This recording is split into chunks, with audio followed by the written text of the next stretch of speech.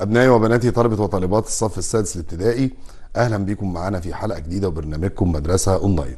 كل عام وأنتم بخير. آه، إحنا داخلين إن شاء الله بإذن الله على شهر رمضان المعظم. أعاده الله علينا باليمن والبركات. آه، النهاردة معانا درس جديد والقواعد النحوية وهناخد مع بعض النهاردة إعراب الفعل المضارع. طبعا يا جماعة إحنا عارفين نظام الامتحانات الفترة اللي فاتت في الشهور اللي فاتت إن إحنا بنعتمد على الاختيار من متعدد. فالأسئلة اللي هتجيلنا إن شاء الله بإذن الله شهر إبريل هتبقى عبارة عن أسئلة اختيار من متعدد نفس النظام بتاع الشهر اللي فات. نخش مع بعض في الدرس على طول ونشوف مع بعض إعراب الفعل المضارع. أنا تركيزي كله هيكون على الفعل المضارع. الطالب لازم يكون وهو شغال وهو بيقرأ وهو بيذاكر لازم يحدد يفرق إزاي يميز ما بين الفعل الماضي والفعل الأمر والفعل المضارع. هي دي المشكلة اللي إحنا بنقع فيها. إن الطالب مثلا لما يجي يقول له الفعل المضارع المنصوب في الفقرة أو في القطعة أو في الجملة يجيب له مثلا اتنين فعل ماضي وفعل أمر وفعل مضارع. تلاقي الطالب يتلخبط ويطلع فعل تاني خالص غير اللي مطلوب. هو طالب منك فعل مضارع. إحنا عندنا قلنا قبل كده هنقول كده بسرعة شفوي كده. الفعل المضارع هو الذي يبدأ بعلامات المضارعة أو حروف المضارعة اللي هي بتختصر في كلمة أنيتو. تختصر في كلمة أنيتو اللي هي تبدأ بالهمزة. عفوا. وتبدأ بالنون والياء والتاء. زي أحب ويحب ونحب وتحب. أصوم ويصوم ونصوم وتصوم. هنا ده الفعل المضارع. لازم أقدر إن أنا أحدد زمن الفعل المضارع. طب إحنا الفترة اللي فاتت كلها سنة رابعة وسنة خمسة كل كان تركيزنا على إعراب الاسم. يعني كل تركيزنا الفترة اللي فاتت إذا كان كانوا مفاعيل أو مبتدأ أو خبر وأنواع الخبر في الترم الأولاني لكننا لم نتطرق إلى إعراب الفعل المضارع. أنا عندي الفعل المضارع له ثلاث أحوال في الإعراب. الحالة الأولى في إعراب الفعل المضارع أنه يرفع وينصب ويجزم. الفعل المضارع له كم؟ حالة إعراب يرفع وينصب ويجزم. طب إيه الفرق ما بينه وما بين الاسم؟ وجه الاتفاق بين الفعل والاسم في الإعراب أن الفعل يرفع وينصب ويجزم أما الاسم فهو يرفع وينصب ويجر. يرفع الاسم يتشابهان في الرفع والنصب. يعني الاسم زيه زي الفعل في الرفع والإيه؟ والنصب. الاسم بيترفع الفعل بيترفع. الاسم بيتنصب الفعل بيتنصب. لكن في الحالة الأخيرة الاسم يتجر لكن الفعل ما بيتجرش. الفعل ما بي إيه؟ ما بيتجرش. الفعل عندي بيتجزم. طب أنا أعرف إزاي؟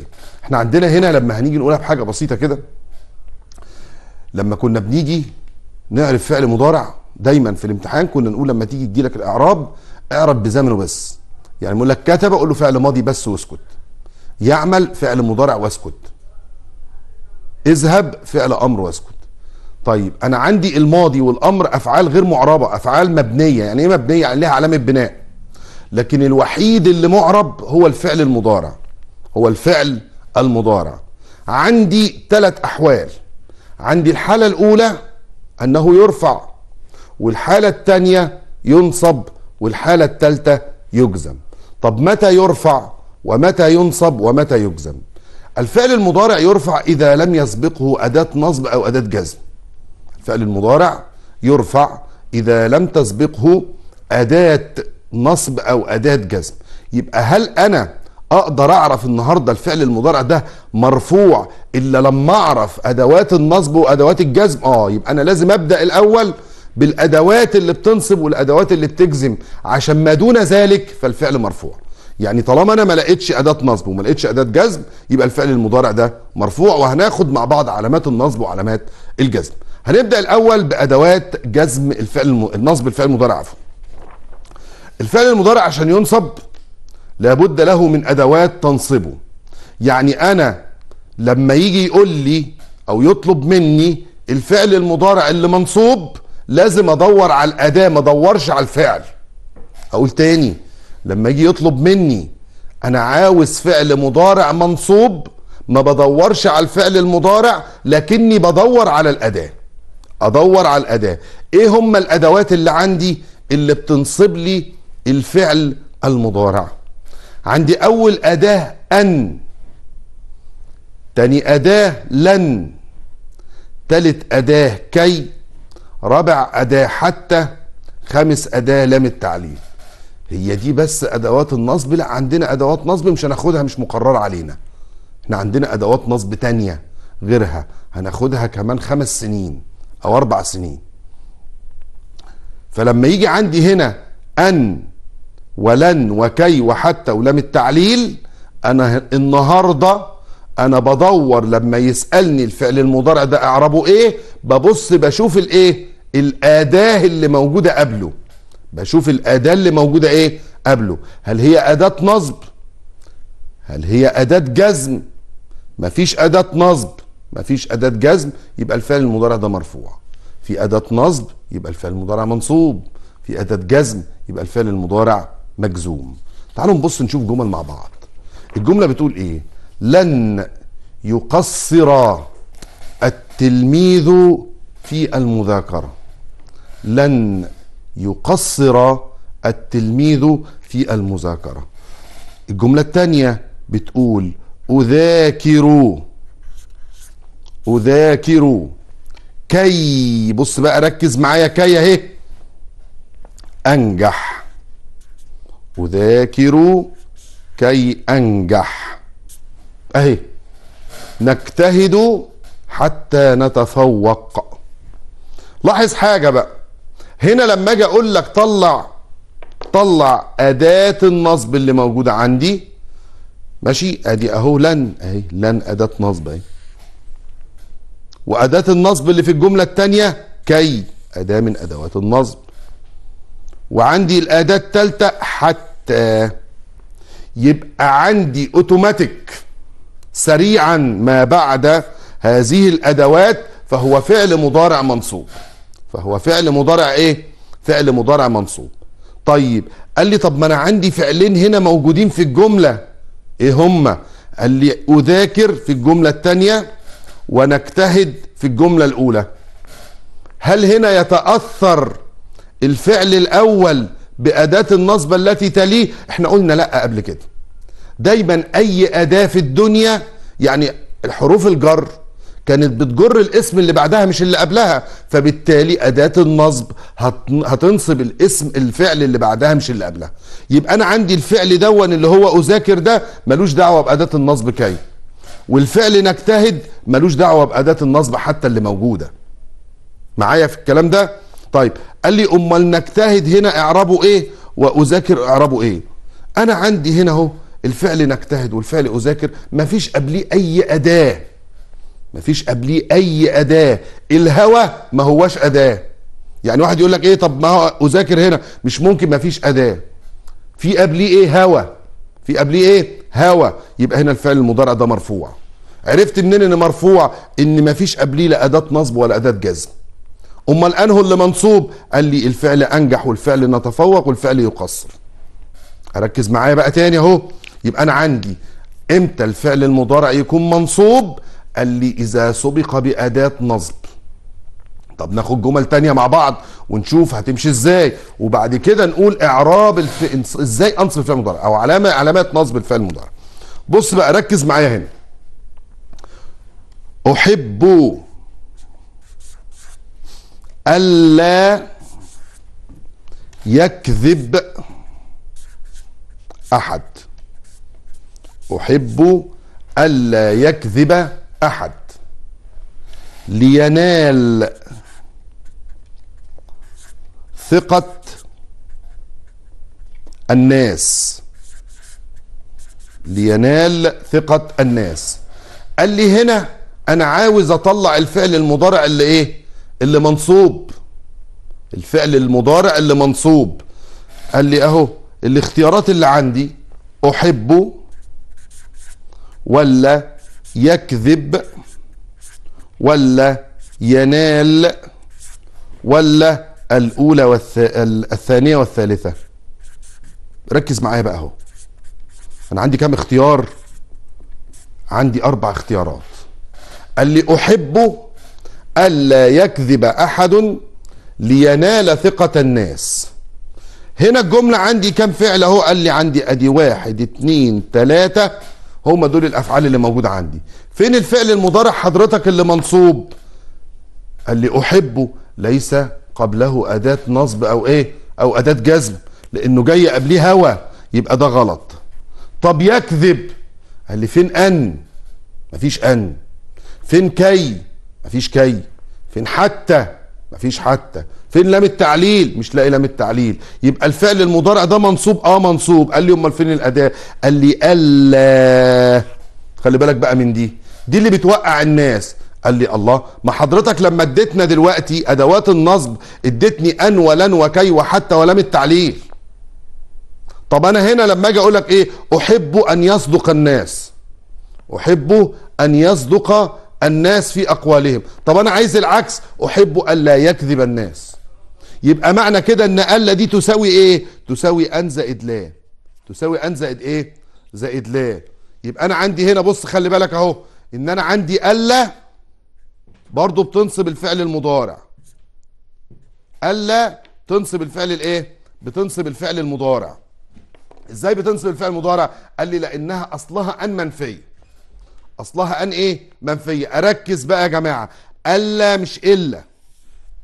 ألا أم همزة من فوق مش إلا. اللي همزة من تحت.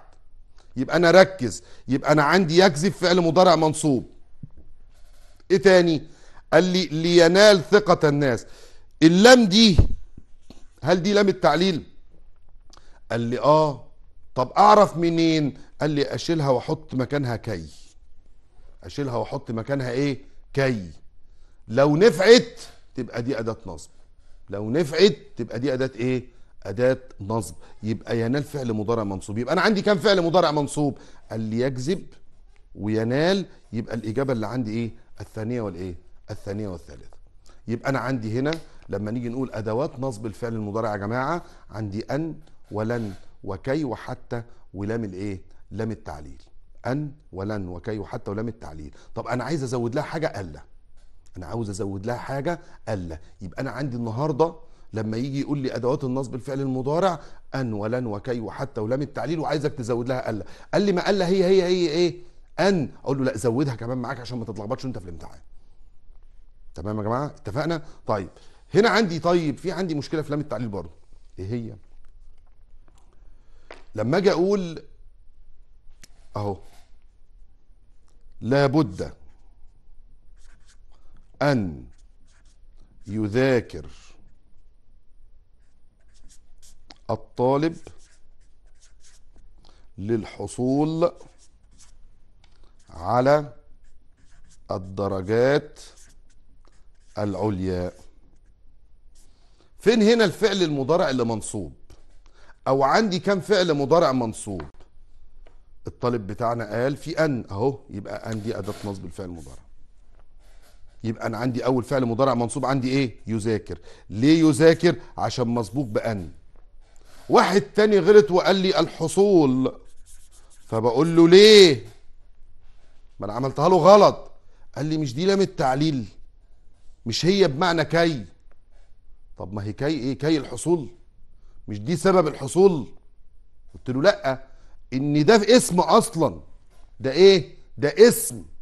ده اسم. فاللام دي حرف جر. اللام دي حرف إيه؟ حرف جر ما هياش إيه؟ لام التعليل اللي إحنا بنقول عليها. يبقى أنا خلي بالي يا جماعة إن لام التعليل ممكن تدخل مع اللام حرف الأمر. مع آسف مع اللام حرف الجر.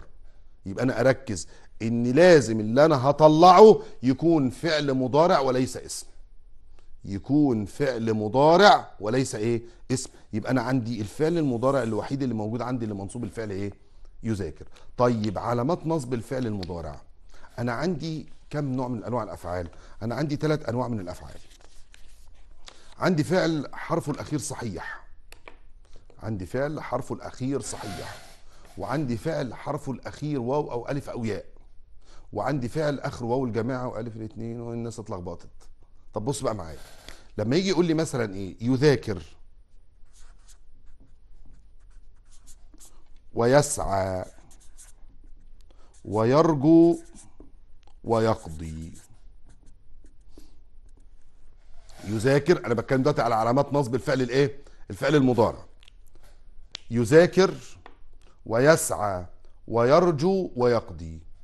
أنا عندي الفعل ده اللي اخره اللي أخره ر زيه زي يجتهد. زيه زي يعمل.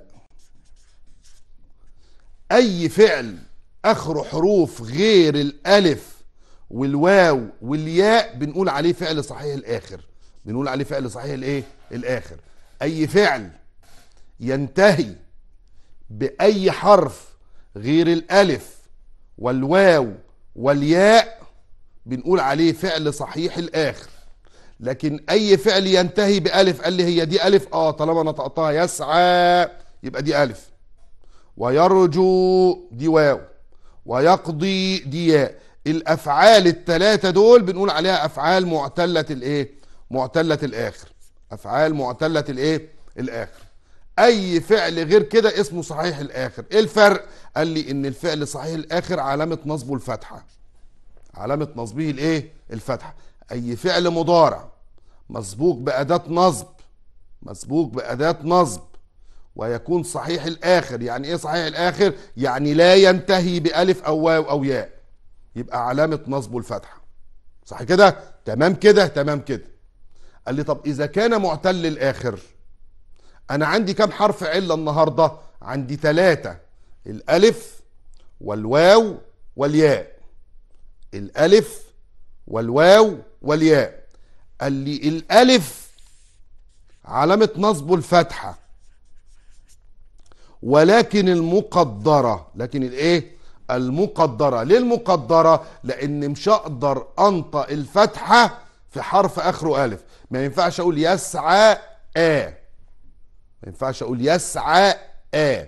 عشان كده بقول الفتحه بقدر إن الفتحه موجودة لكنها لا تنطق. الفتحة هنا موجودة ولكنها لا إيه لا تنطق لصعوبة نطقها مع مين؟ مع الألف. قال لي لكن مع الواو والياء. قال لي الفتحة العادي الظاهرة اللي أنا بنطقها عادي. اللي أنا بنطقها إيه؟ عادي. يبقى أنا ينفع أقول يرجوا ويقضيا يبقى أنا عندي أهو الفعل المضارع هيجي لي على أربع أحوال.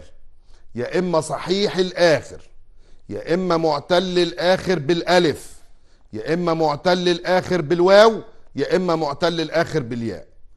واحد اتنين تلاتة. الأولى والتالتة والرابعة علامة نصبه الفتحة الظاهرة. علامة نصبه الفتحة الظاهرة. يعني إيه الظاهرة؟ يعني التي تكتب وتنطق. التي تكتب أو ترسم وتنطق. زي ذاكرا. يجتهدا. يعملا. أنا كتبت الفتحة أو رسمت الفتحة ونطقتها. طيب يرجوا برضو نفس الكلام ترسم وتنطق.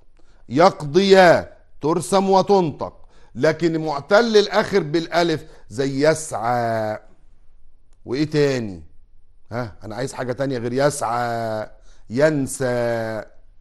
يرضى. ماشي؟ هنا آخره ألف. قال لي طب ما هي البطة دي لا البطة دي مش ألف. البطة دي مش ألف. الألف إيه؟ الألف نطق مش كتابة. الألف نطق مش كتابة. يبقى أنا عندي أهو يسعى يرضى. الأفعال دي الفتحة لا ترسم ولا تنطق. لا ترسم ولا إيه؟ تنطق. يبقى علامة نصبه الفتحه الإيه؟ المقدرة. فهمتوا؟ إيه الفرق ما بين الفتحة المقدرة والفتحة الظاهرة. طبعا أنا عندي نوع تاني من الأفعال اللي هو الأفعال الخمسة لكن ده هنعمل له فقرة لوحده وهنعمل له حصة لوحده إن شاء الله. هو ده اللي إيه هناخده. يبقى إحنا عندنا نراجع مراجعة سريعة أدوات نصب الفعل المضارع أن ولن وكي وحتى ولام التعليل. قلنا لام التعليل دي بمعنى إيه؟ بمعنى إيه؟ كي. بتيجي بمعنى كي. وزودنا لهم أداة اللي هي ال. علامات نصب الفعل المضارع. قلنا إحنا لغاية دلوقتي خدنا علامتين. إيه هما؟ الفتحة الظاهرة إذا كان الفعل صحيح الآخر أو ينتهي بياء أو ينتهي بإيه؟ بواو. الفتحة المقدرة إذا كان ينتهي بألف. إذا كان ينتهي بألف. وقلنا إزاي؟ إيه الفرق ما بين الفتحة المقدرة والفتحة الظاهرة؟ قلنا الفتحة الظاهرة هي التي ترسم وتنطق مع آخر حرف. أما الفتحة المقدرة فهي لا ترسم ولا تنطق. لأن الفرح الفعل بطبعه إن أنا بنطقه مفتوح الآخر يسعى يسعى. مش هيتحمل فتحة كمان. مش هيقدر يتحمل الفتحة كمان. ده بالنسبة لنصب الفعل الإيه؟ المضارع. يبقى أنا أول حاجة يا جماعة أول ما بشوف الفعل موجود عندي في الجملة بشوف قبليه. في قبليه أداة نصب يبقى أقول عليه فعل مضارع منصوب. نروح بقى لجزم الفعل المضارع. عندي جزم الفعل المضارع. عندي دي أدوات جزم. عندي فيه أدوات جزم. إيه هي أدوات جزم الفعل المضارع؟ تعالوا نبص مع بعض كده. القاعدة بتقول يجزم الفعل المضارع الصحيح إذا سبقته إحدى أدوات الجزم الآتية. يجزم إحنا هنشتغل على الفعل الصحيح. يجزم الفعل المضارع الصحيح. عرفنا بقى نميز ما بين الصحيح والمعتل اللي هو صحيح الآخر اللي هو اخره دال صاد سين ر واو ت أي حاجة. إمتى يكون معتل؟ إذا كان اخره ألف أو واو أو ياء. اخره ألف أو واو أو ياء. زي قلنا يرضى ويسعى اخره ألف. يرجو ويدعو اخره واو. يقضي ويبني اخره ياء. تعالوا نبص نشوف أهو. إيه هي أدوات الجزم؟ لم ولام الأمر ولا النهيه في لما بس مش مقررة علينا. لم ولام الأمر ولا الناهيه ركز معايا بقى. نبص نشوف بعد كده. لم تفيد النفي في الماضي. كل أداة وليها ها وليها إيه؟ مدلول. لأن هي افادت طلب الامتناع عن عمل الفعل. لم الأمر افادت طلب عمل الفعل. لام الأمر أفادت طلب عمل الفعل. طيب أنا هنا وقعت وقعة بسيطة. إيه هي؟ أنا عندي أسمع عن اتنين لام لغاية دلوقتي. لام الأمر ولام التعليل. كيف أميز بين لام الأمر ولام التعليل؟ طب حاجة بسيطة جدا. لام الأمر بتدل على طلب عمل الشيء ولام التعليل بتيجي بمعنى كي. يعني اللي هتيجي فيهم مش بمعنى كي؟ يعني أهو بص نشوف مع بعض. لام الأمر إحنا بنتكلم أهو. لام الأمر بمعنى لازم. بمعنى إيه؟ لازم أو لابد أن. خلينا في لازم. لام التعليل اللي بتنصب أصل المشكلة في إيه؟ إن الاتنين كل واحدة فيهم ليها وظيفة تختلف عن التانية. لام التعليل بتيجي بمعنى كي. طب ما تدينا جملة حضرتك عشان ما نتلخبطش ما بين الاتنين. أقول لك الجملة بسرعة أهو. لما أجي أقول لتذاكر. بص ركز معايا اهو. لتذاكر. اهو. لتنجح. آه. الاتنين اللام جم ورا إيه؟ الاتنين اللام جم ورا بعض. الاتنين اللام جم ورا إيه؟ بعض. واحدة قال له لتذاكر لتنجح. طيب. لتذاكر الأولانية بمعنى إيه؟ قال لي بمعنى لازم. طب تذاكر التانية بمعنى إيه؟ قال لي بمعنى كي. شيل اللام وشيل اللام وحط الإيه؟ اللي إحنا لابد أن تذاكر كي تنجح. لازم تذاكر كي تنجح. يبقى دي لام الأمر ودي لام الإيه؟ ودي لام التعليل. طب إيه الفرق ما بين الاتنين؟ قال لي لام الأمر بتجزم الفعل المضارع. يبقى ده مضارع إيه؟ ده مجزوم. وده مضارع إيه لام التعليل بتنصب يبقى ده مضارع منصوب. يبقى لازم أفرق ما بين مين؟ لازم أفرق ما بين لام الأمر ولام الايه التعليل. لام الأمر بتيجي بمعنى ها لازم. أما لام التعليل بتيجي بمعنى كي. لتحاسب نفسك قبل أن تنام.